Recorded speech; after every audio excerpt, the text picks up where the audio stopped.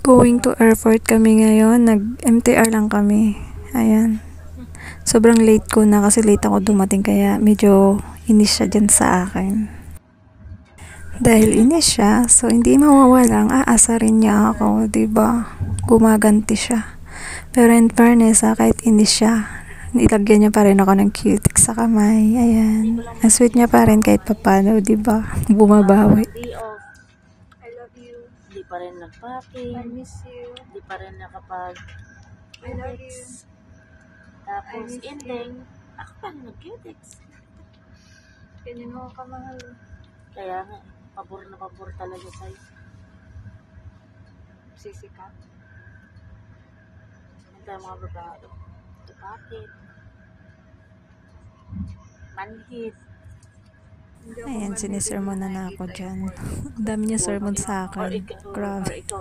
Natat hindi ina-appreciate O, diba? Sermon mo. to the max siya. Ganyan siya pag inis sa akin. Pag lalo na pag nalilate ako, yan, naiinis na siya.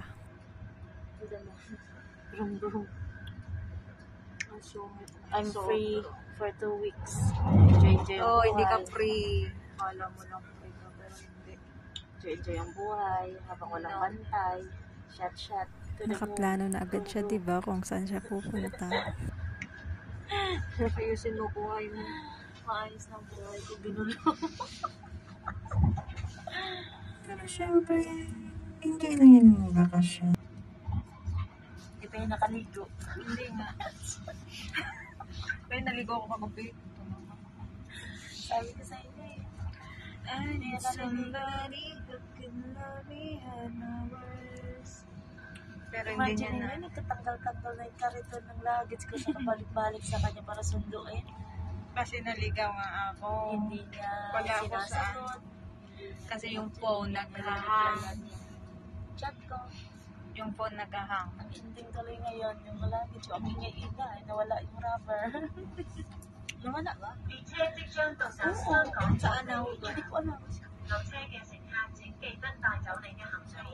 Kaya na pala, baka mabasag pa yan.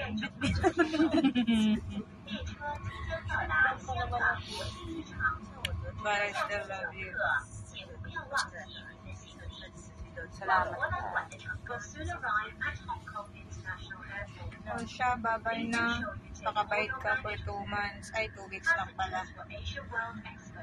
Hindi pa nga naghiwalay, nagpapaalam na. Pero magkikita rin naman kami yan after one week. Pupunta ako sa kanila. Sama si Josh. Doon ka ba? Hindi siya lang tayo Katay naman ako dati. Kuripot lang talaga amo mo kaya sumabay ako. Hindi, dati, dati Philippine Airline naman ako. Katay naman ako. Dati. Dati Philippine Airline ako, ngayon naging Air Asia na kasi sobrang mahal ng ticket. Ah, first, anong terminal ka na?